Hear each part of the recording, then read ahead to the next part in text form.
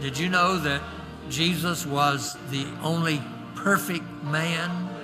So the more that we are like Jesus, the more of a man we are.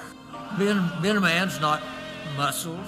Being a man is being more like Jesus because he was the perfect man.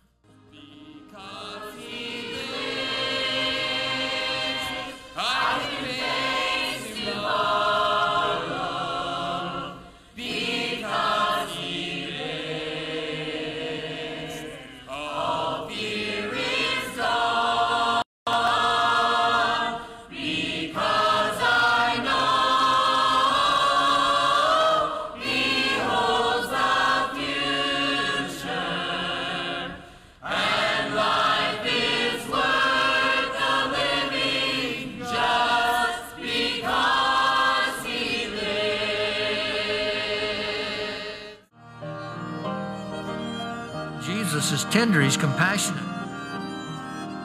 Children need to see this love in the lives of their fathers.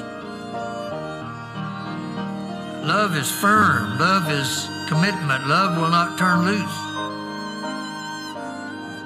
Love is tenacious.